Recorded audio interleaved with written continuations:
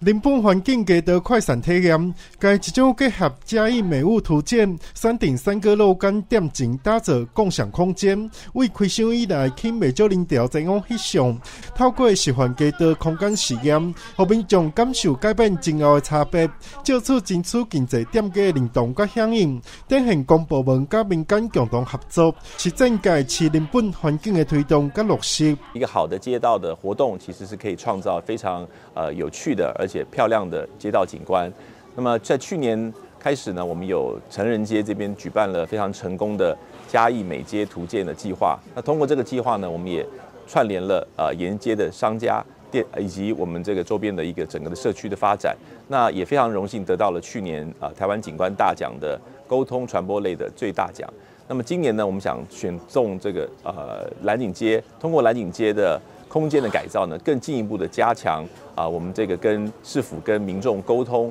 怎么样打造一个更友善、更人本的一个街道环境？那么同时呢，不光是让人能够好走好玩，同时也可以让周边的店家能够在做生意上面更方便。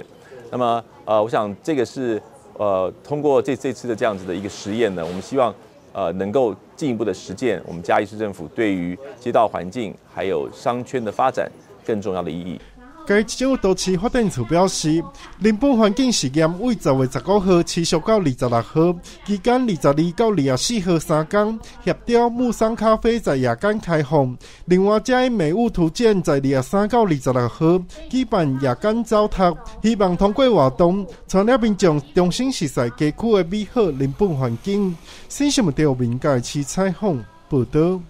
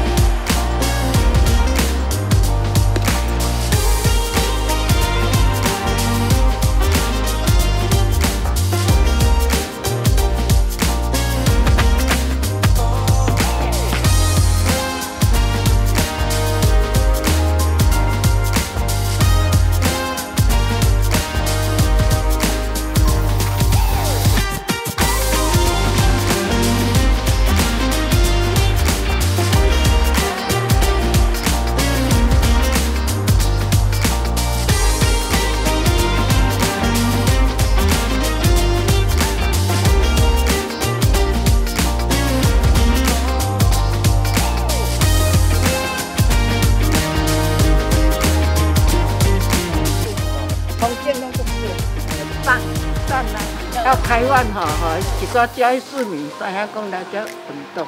赞赞。